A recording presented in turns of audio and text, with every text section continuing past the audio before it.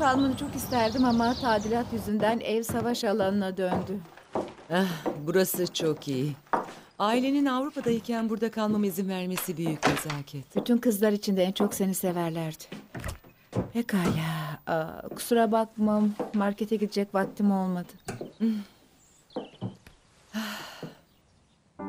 Burada oturup dondurmaya bulanmış yüzlerimizle kimin kiminle çıktığını konuştuğumuzu dün gibi hatırlıyorum. Ne güzel günlerdi değil mi? Kesinlikle.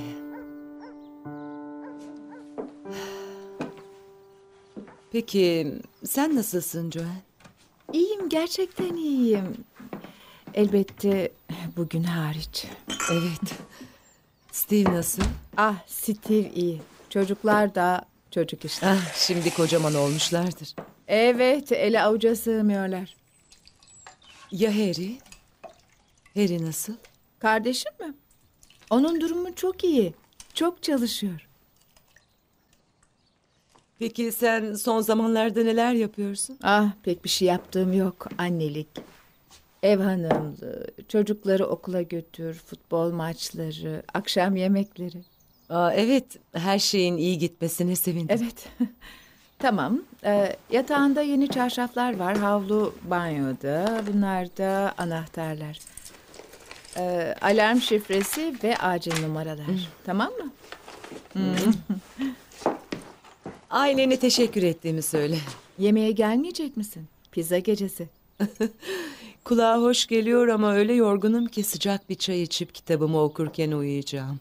Hızlı yaşıyorsun ha? İyi uykular.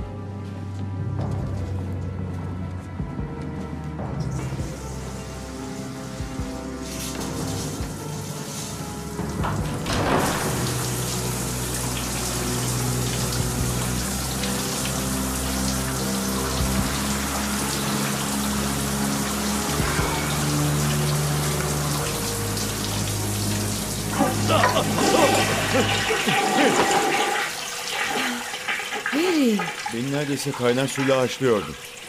burada ne arıyorsun sen? Son gördüğümde burası hala ailemin eviydi. Sen de bir uğrayıp duş almaya mı karar verdin yani? Aslında şofbenin bozulduğu için iyi bir fikir gibi gelmişti. Joanne burada kaldığımı söylemedi mi? Şey, Seni sinsi pislik. Arayabilirdin. seni görmek çok güzel Max.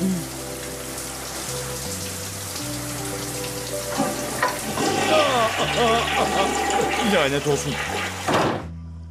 Lois'le evlenmene şaşırmadım. Sana başından beri sırılsıklama aşıktı. Sadece başlardı. Sonra gerçek beni tanıdı. Hayır buna inanamam. Bir zamanlar çok iyi anlaşıyordunuz. Doğru. İlk günler çok iyiydi. Ama uzun süre öyle gitmedi.